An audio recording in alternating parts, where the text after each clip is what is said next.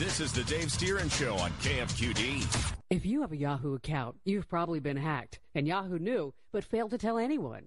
Kim Komando with your digital consumer tech update. Yahoo announced that a half a billion of its user accounts had been hacked, the biggest data breach in history. Period. Names, addresses, birth dates, passwords, all stolen. It happened in 2014, more than two years ago. Yahoo claims it didn't know until just a few months ago, which is probably false. And Verizon, who purchased Yahoo for 4.8 billion, says that Yahoo didn't tell them until this past Wednesday, which is probably true.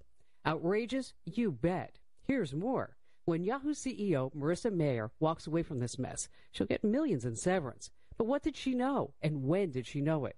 And what will Yahoo do for each one of its 500 million victims? Is any of this criminal? Because it should be. For breaking tech news updated all the time, you'll find it at news.komando.com. That's K O M A N D O. ADT presents what to consider when considering home security. An ADT sign is more than a sign. It's a line in the sand. On one side, your family. On the other, an uncertain world. For over 140 years, more people have chosen ADT to help prevent crime than anyone else. Get ADT starting at just $28.99 a month. Tested, trusted, proven ADT.